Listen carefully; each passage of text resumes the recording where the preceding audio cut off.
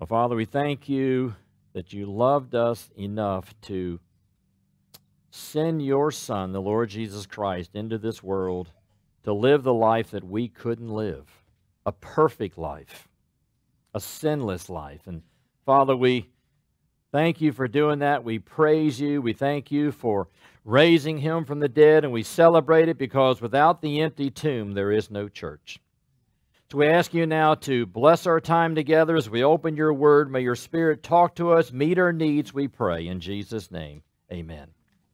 Well, I hope you still have your Bibles open to Luke chapter 24. If not, please turn back there. Luke chapter 24.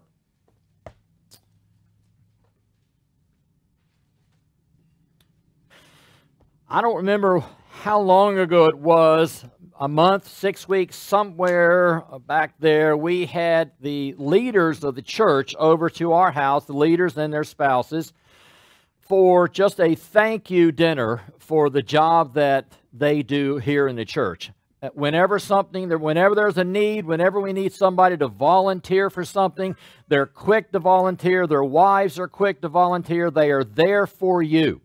And that's that's rare. We don't have that in all the churches. So I, it's just our way of saying thank you to them for the service that they give you and the great attitude that they have in serving the cause of Christ. We always do something to just kind of help us get to know each other a little better. So after dinner, we sat around in the living room and I asked them a question. I said, if you could go back in time to anywhere in the Bible, where would you want to go?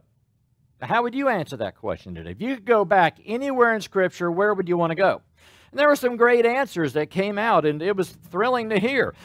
Some would want it to be in Genesis chapter 1 when the world was created. Where would you want to be? Would you want to be in Genesis chapter 3 as the serpent is tempting Adam and Eve? And would you want to stand there and cry out and say, No, don't do it, don't do that? Would you want to be in Genesis chapter 22 where Abraham was told to sacrifice his son Isaac and he has the knife up in the air and he's about to drive it down into his son and God stopped him and said, No, don't do that. Would you want to see that? What would you want to see? Well, where I, where I got that idea from was I was with a pastor here in Greenville a number of years ago, and he said if he could go back in time and be anywhere in the Bible, he would want to be in the passage that we are looking at this morning, the road to Emmaus, as Jesus himself explains the Old Testament to these two men that are here. So that's where he would want to go. And that's what we're dealing with today. So today we're going to hear the greatest teacher in the world explain the greatest book in the world. And it's interesting because his story is only found in Luke. Luke wasn't one of the people that saw Jesus after he rose from the dead, but he was a scientist. He was a historian and had an inquiring mind. You can read about that in the first few verses of his gospel. So let's pick it up with verse 13. And behold, two of them were going that very day to a village named Emmaus, which is about seven miles from Jerusalem. So it starts off, behold, so there's some change is going to take place here. Something new, something unexpected is about to happen. We have two men. Now, these men are followers of Jesus. We do not know who they are. We do know their condition. As a follower of Christ, these men are heartbroken. They're confused. They're devastated. And maybe that's where you are today because life doesn't change. They left their dreams back in Jerusalem. They left their dreams dead and buried in Jerusalem. And now, for these two men, it's back to the real world. So these men are going home after a very long, hard weekend. But notice what the Bible says that very day.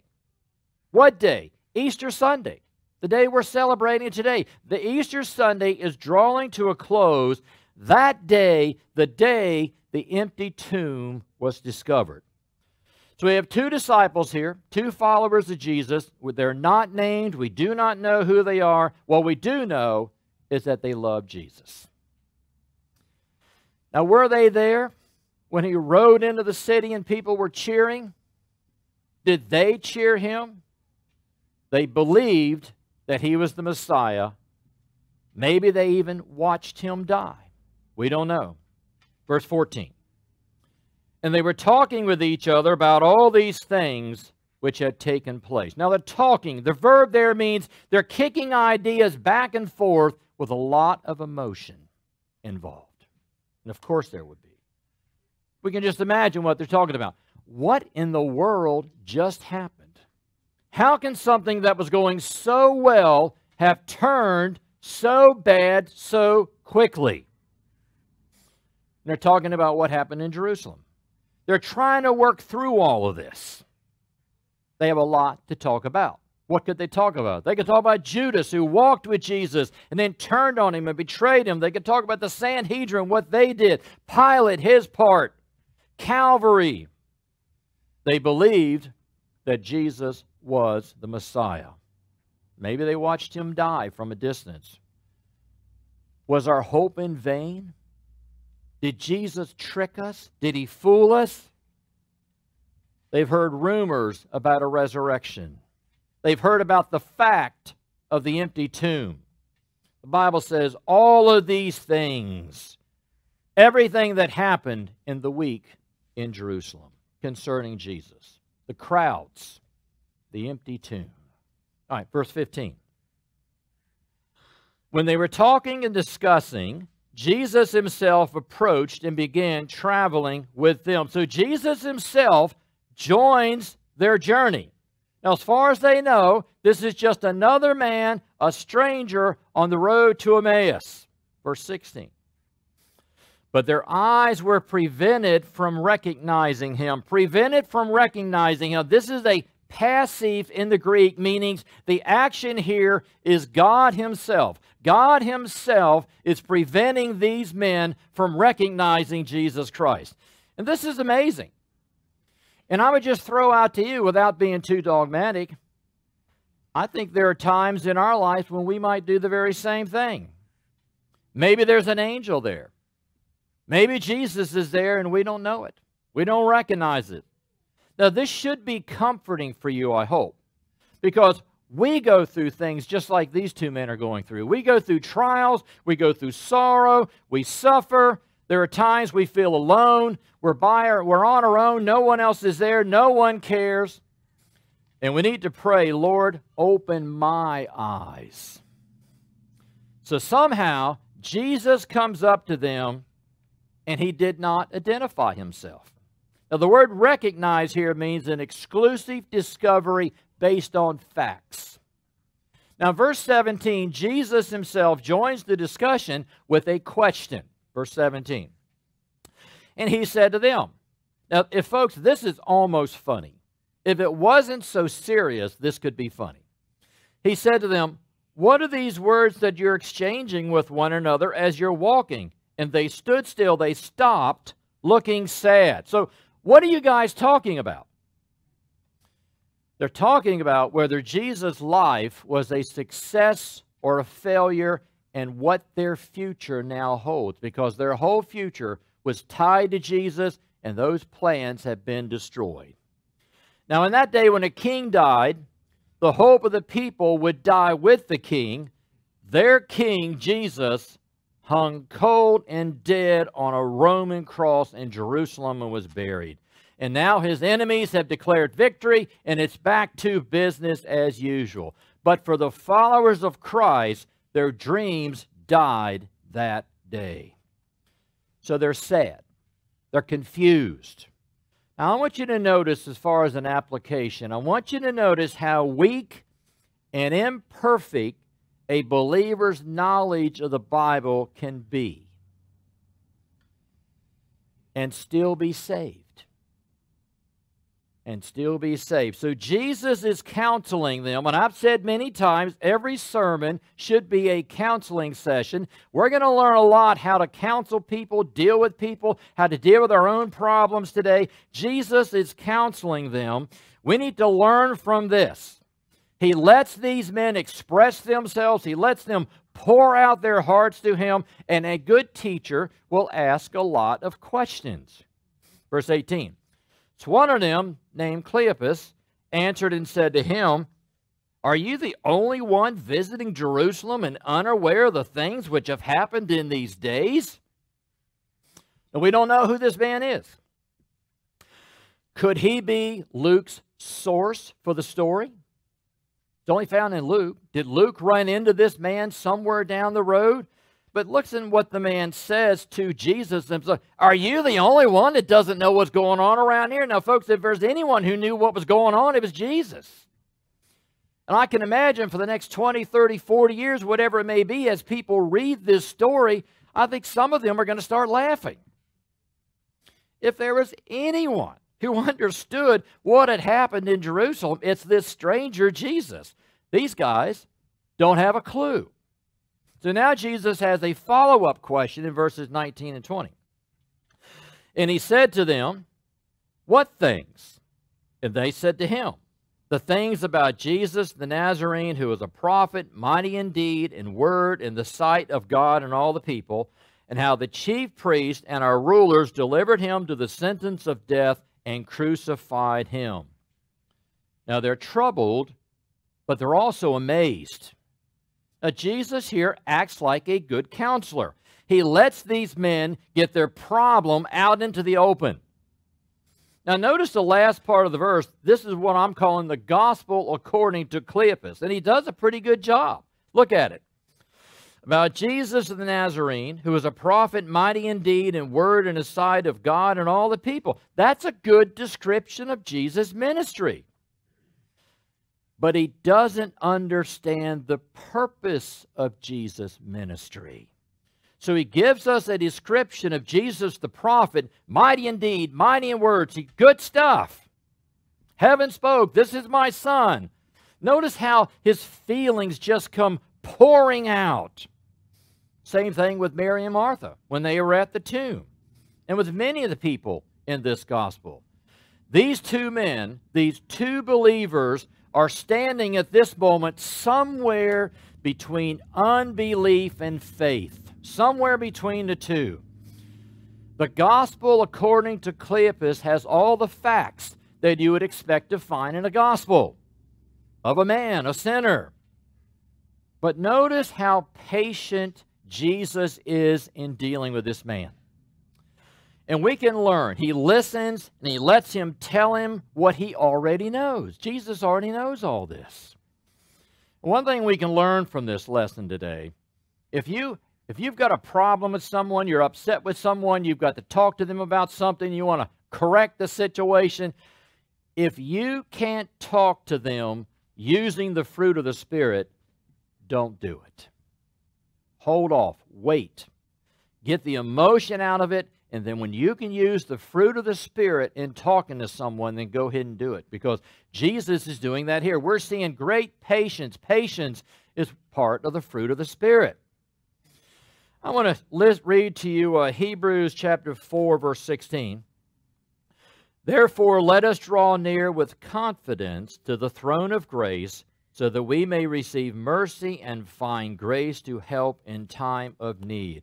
And Jesus is telling us to do the very same thing. Come, talk to me. You might as well because he already knows what's on your mind. He already knows your heart. He knows your heart better than I do, better than you do. So you might as well just find a time and just pour out your problem to the Lord because he's inviting you to come and do that. All right, verse 21. But we were hoping. Now, I want to stop there for just a second expectations. You've heard me say this before. Expectations are a dangerous thing. If you have expectations of your husband, your wife, your children, your best friend, whoever it may be, and they don't know what your expectations are, you're going to be hurt, and they're, going, they're not going to have a clue about what's going on. That's what we're seeing here. But we were hoping that it was he who was going to redeem Israel. Indeed, besides all this, it's the third day since these things happened. Now, the Jews thought that if a person, if he was still alive when he was buried or something like that, that they would come back by the third day. If it's the third day, it's too late, it's all over. So they're saying here, this is the third day since these things happened. It, it's, it's too late. All right, verse 21. But we were hoping. We had hoped, there's disappointment here. Now, these men are going through a crisis in their life. What good is a dead Messiah? They had false expectations, they were mixed up. We were hoping, we were trusting, but they had a false view of the Messiah that they were hoping for. These men are ignorant of the Bible. We were hoping that he would redeem Israel, save us from the Romans, restore us, us as a mighty nation again. But a dead king can't do that. What's lacking here is a clear understanding of the Bible. Now, thankfully, that's not required for salvation. Be glad. But, folks, it is required for peace.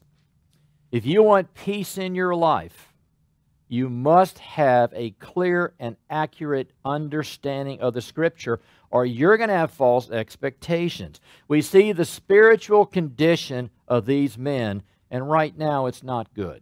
Right, verse 22 and 23 but they're still talking. But also, some women among us amazed us.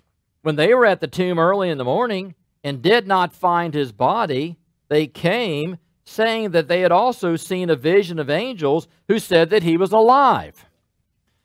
Now, notice, they're rejecting the very clear testimony of the women. They're rejecting that. Verse 24. Some of those who were with us went to the tomb and found it just exactly as the women had also said. But him they did not see. So we have two men, they're discouraged, they're disappointed, and they're letting it all out. Now, he does a pretty good job of recalling the facts. Now, I ask you a question as far as Jesus being a counselor here. Does Jesus reject them? No, he does not reject them.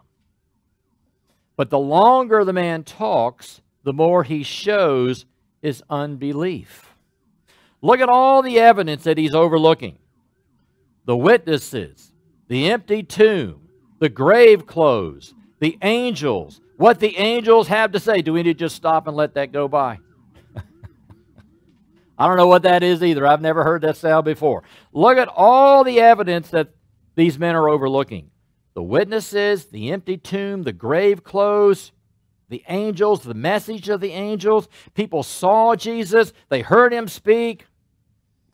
These men could have saved themselves a lot of pain if they had believed the Bible. If they knew their Bible and if they believed the Bible, they could have saved themselves a lot of pain. If they believed the Bible and they had believed the evidence that God gave them. These men are about this close to giving up. Now, maybe that's where you are today. Maybe you're discouraged and you're down and you're close to giving up. Now, we, we could be the same, time, same way sometimes. But notice, once Jesus comes into the conversation, these men have hope. Now, the application for us what problem are you dealing with today? What, what are you struggling with? Once Jesus comes into the conversation, we have hope. Now, how does Jesus come into our conversation? He comes in by the Scripture, He comes in through God's Word. When you're reading your Bible, Jesus is going to enter the conversation with you, and the Holy Spirit is going to apply that scripture to your issue, whatever that may be. But you can't expect to find the answer outside of Scripture. I will go so far as to say this the Bible has the answer to every problem you will ever deal with in your life. Do you believe that? Do you doubt that? Whatever you're dealing with today, the Bible has the answer to your problem. And I challenge you, if you don't think that's true, send me your problem. If, even if you're listening on the internet today, send me your problem. Send me an email, Mr. Stephen Hill at AOL.com. Mr. Stephen EV, Mr. Stephen Hill at AOL.com. I will get back to you within 48 hours. If you think you have a problem and the Bible does not have the answer to your problem, let me know. Now, as you know, on Sunday nights, we're dealing with our series on culture. And we're dealing with wokeness and things like that. And wokeness is creeping into the Christian church. And wokeness is telling us that the Bible has a lot of answers to a lot of problems, but it does not have the answer to racism.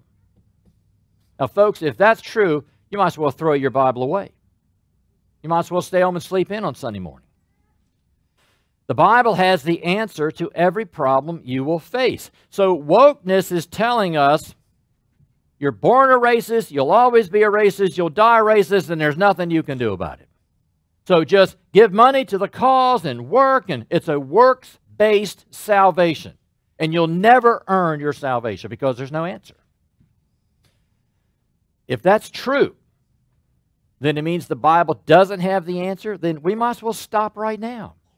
So if you think you have a problem that the Bible cannot answer, I want you to email to me and I will get back to you within 48 hours. So Jesus joins the conversation. He has the answer. And notice how these men are just pouring out their problems to a total stranger about what happened that day. It's the third day, so now it's, it's just too late. Yet some people have said he's alive. These men are only seeing the facts of the empty tomb. They're not seeing the application of the empty tomb. Now, the word gospel means good news. And, folks, there's no good news if, unless Jesus is raised from the dead.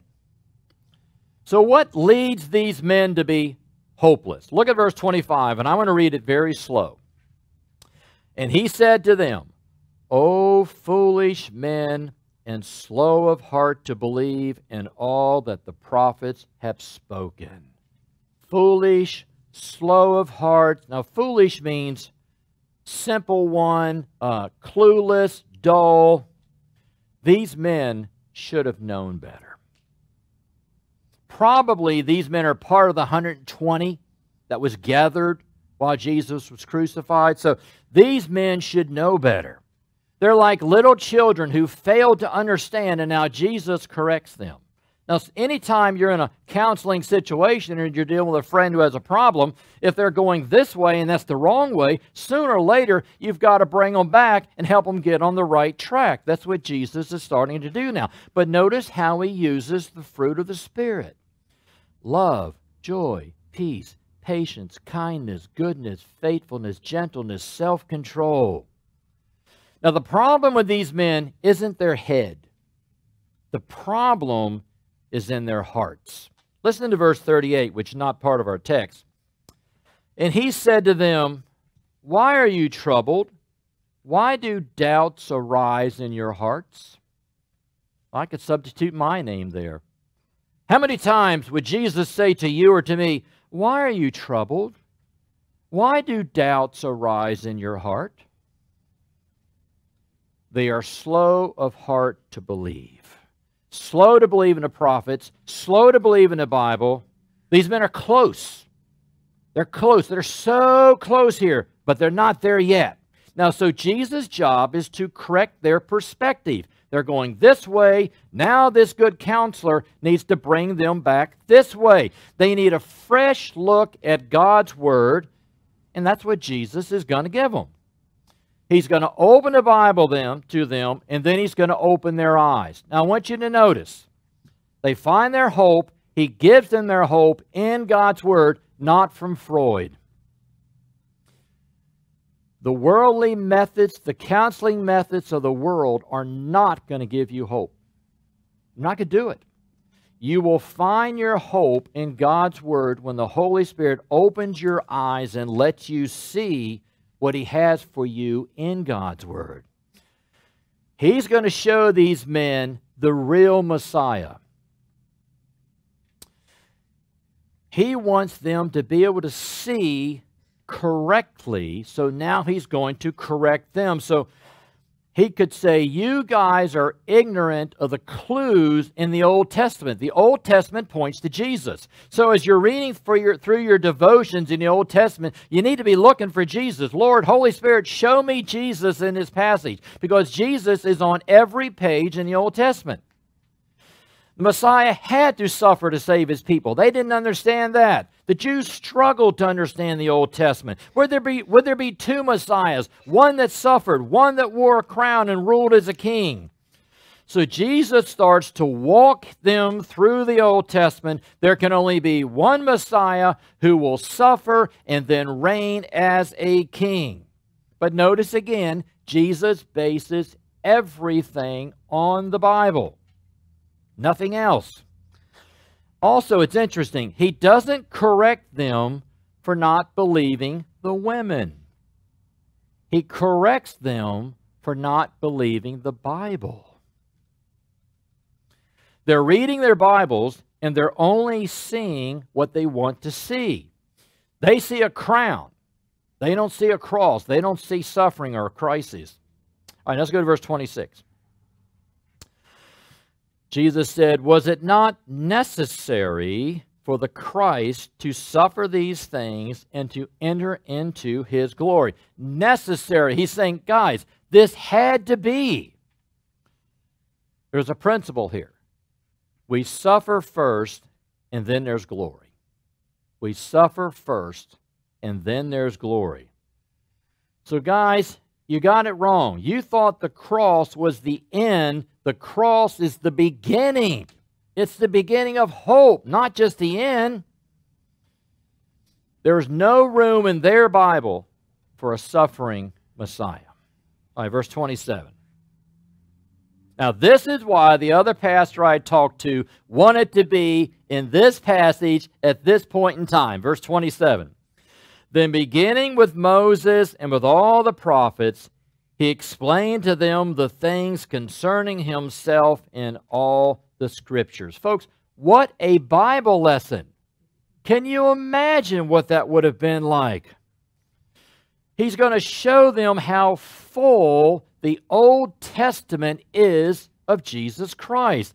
He begins with Moses, he walks through the prophets. Then he would, could go into the New Testament and show them how it all ties together. Verse 28. And they approached the village where they were going, and he acted as though he were going further. Now, here we are talking about, uh, uh, we're going to get to it in a minute, a doctrine that has almost disappeared from the modern church, but we're not there yet. So let's read it again. Verse 28 They approached the village where they were going. He acted as though he was going further. So here's the question Jesus wants you to want more of Him. How much of Jesus do you want? Will they let Jesus keep going? Well, thank you very much. We, we enjoyed our conversation. Nice to have met you. How much of Jesus do you want? He was going to go on, no pressure. So, have you men had enough of me? Do you want more of me? How about you today? Have you had enough of Jesus or do you want more of Jesus? How much do you want? He will not push you, but He's there. If you want more, He'll give it to you. He'll give you as much as you want. He wants us to prove our love for Him. I'm going to give you a great example of that. Uh, it's found in Genesis chapter 33, uh, 33, verse 26 uh, 32, verse 26, as we're dealing with Jacob. Now, there's no doubt about it, Jacob was a rascal. No doubt. His life, whoo, boy, you study the life of Jacob, you're, you're dealing with a guy who was messed up. But now he's getting his life together. And in this passage, he's, he's wrestling with a man. Now, we think the man is Jesus, the pre incarnate Jesus Christ. He's wrestling with Jesus, and he wrestled with him until daybreak. When he saw that he had not prevailed against him, he, he touched the socket of his thigh. So the socket of Jacob's thigh was dislocated while he wrestled with him. Now, What does this rascal who's getting his life straightened out have to say in verse 26? Then he said, the, the man said, Let me go, for the dawn is breaking. But he said, I will not let you go unless you bless me. Jacob's getting his life straightened out, and he wants more of Jesus. I will not let you go. Where are you today? Have you had enough of Jesus, or do you want more? Will you not let him go? Will you let him walk on to another town or another location? Or will you stop him? So in verse 29, we're dealing with the doctrine, hospitality, which has just about disappeared from the American culture and from the Christian church. Verse 29. But they urged him, saying, Stay with us, for it's getting towards evening, and the day is now nearly over. So he went in to stay with them. Finally, now he has reached their hearts with the Word of God and they don't even know his name. He's a stranger. They're saying to a total stranger, Stay with us. Don't leave. Stay with us. What do we learn from this? God's word breaks down barriers. Sin creates barriers, God's word breaks them down. Any barrier you have in your life is because of sin, and the answer is God's word can break it down. We have hospitality here. They invited these strangers to stay with them. Stay with us. Now, in the Greek, it has the idea of force. So they're not just saying, we can stay with us if you like. It's as if they're saying, they're grabbing him by the shoulder and saying, no, you will stay with us. Now, hospitality, it's almost gone from the Christian church today. So this is a great encouragement to help us get back on track. All right, verse 30. When he had reclined at the table with them, he took the bread and he blessed it, and breaking it, he began giving it to them. Now, I don't think this is the Lord's Supper. I think this is a, a normal dinner, a meal. 31. Then their eyes were open, and they recognized him, and he vanished from their sight. You can see it. How? What? Why? Ah. Did they see his hands? as he broke the bread and as he gave it to them, did they see his hands? Is that what caused their eyes to be opened? God opens her eyes, and as soon as her eyes are open, boom, he's gone. He disappeared. Then they instantly connect all the dots. Jesus, Messiah, suffering Savior, risen King. It starts to come together. So, folks, a proper understanding of the Bible gave them hope. You need hope today? We all do. In this world that we live in, we need hope. One writer said, once their spiritual eyes were open, Jesus became invisible to their physical eyes. All right, verse 32. They said to one another, Were not our hearts burning within us while he was speaking to us on the road, while he was explaining the scriptures to us? burning hearts. Bible knowledge should lead to a burning heart. Bible knowledge should lead to a burning heart. Then a burning heart, that knowledge should lead to a greater walk with Jesus. So, how can we today on Easter Sunday hear the story of a risen Christ and still have a cold heart. How can we do that? He explained the scriptures to us. That's what they said. Now, preaching is explaining and applying, explaining and applying through personality. That's what preaching is. But again, what gave these men peace? What Jesus did for these men is what he wants to do for you and what he wants to do for me. We can't help people with their problems without explaining the Bible. That's where they're going to find their hope and their encouragement. In this world that we live in today, you can't turn on the television without being disappointed. You can't listen to anything without being discouraged today.